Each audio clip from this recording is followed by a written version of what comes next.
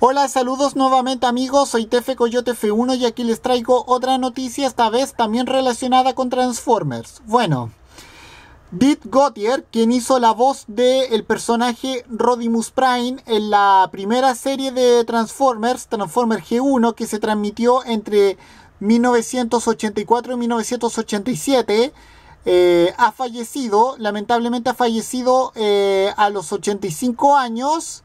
Eh, recordemos que Dick Gautier hizo la voz del el líder Autobot de la tercera temporada, Rodimus Prime, en Transformers G1.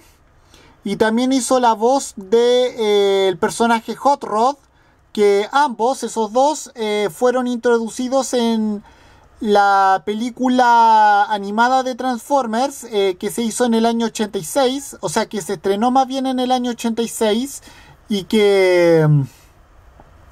Pero este personaje no le hizo la voz a estos dos, pero este... Quiero decir, este actor de voz no le hizo la voz a a Rodimus Prime y a Hot de la película, sino que más bien en la serie animada después de la película. Y bueno, y también hizo la voz de otros personajes como por ejemplo Ape Face, eh, Fire, Firebolt y eh, el, científico de los Quintesson llamado eh, Jar.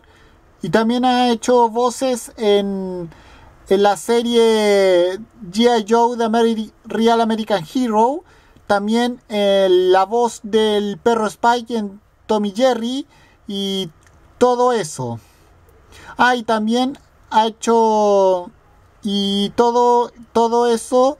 Así que que en paz descanse Dick Gautier. Con esto me despido, nos vemos en otro video. Soy Tefe Coyote F1. Adiós, Cami fuera.